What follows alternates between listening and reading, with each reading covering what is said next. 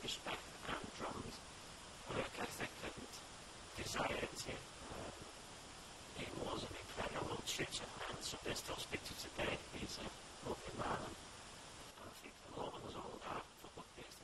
Discipline was into it was just not on the pitch, it was off the pitch, off the pitch more importantly that, you know, if they were jobs, so we finished training about three or four o'clock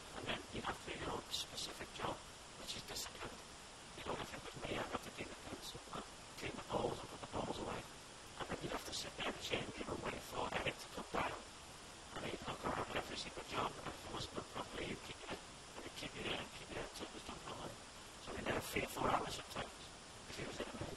Um, so